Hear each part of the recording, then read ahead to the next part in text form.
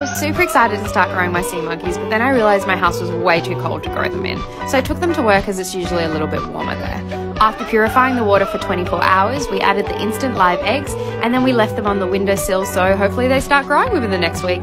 I was super excited to get to work today and check on the sea monkeys. We added the live eggs two days ago, and when we checked today, they'd finally hatched. Stay tuned to see them grow in part three. Because I had to leave the sea monkeys in the office over the weekend, I decided to feed them a day early. However, when I came into work today, unfortunately, they'd all died, so I did have to throw them away, but don't worry, I ordered some new ones from Kmart, so as soon as those arrive, we'll set them up, and hopefully I don't kill them. Today when I arrived to work, I was super excited to see that my new sea monkeys had been delivered.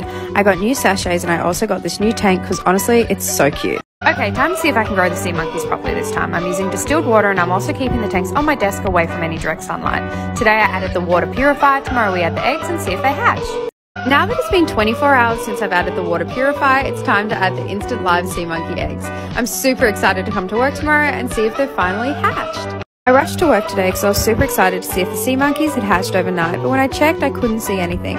So I went back to work and a few hours later I checked again and they'd hatched. Getting my wisdom teeth out soon, so I brought the sea monkeys home from the office. It's day five, which means it's their first feeding day, and they were pretty happy about it. I also got this lamp from the warehouse, which makes seeing them swim around so much easier.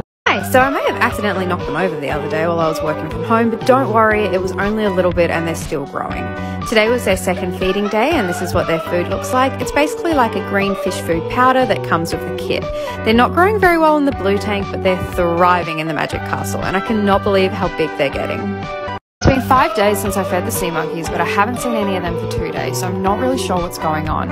They're supposed to be fed today, but I'm a little bit hesitant to because there's still lots of stuff in their water. I've been aerating their tank every day and doing a lot of research onto where they could have gone, so if you have any advice about this, please let me know. After my last video, I was pretty convinced that they were all dead, but someone suggested wrapping them in a scarf, so I decided to do that and I also decided to keep feeding them every five days. And surprisingly, it worked because I started seeing a lot of life in the tanks, which made me so happy.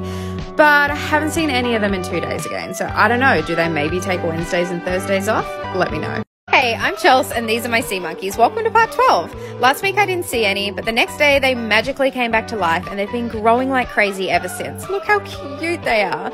Unfortunately, I haven't seen any life in the blue tank for about two weeks, so it was time to admit defeat and dispose of those. I've ordered some more eggs, so we will give that tank another go.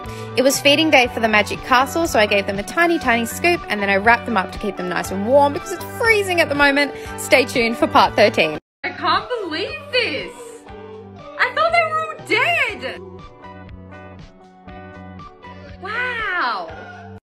I'm Chels, and I know it's been a while since my last sea monkey update. So I had two sea monkeys grow to full size, a male and a female, but unfortunately a couple of days ago the male sea monkey died, leaving his pregnant wife behind all alone.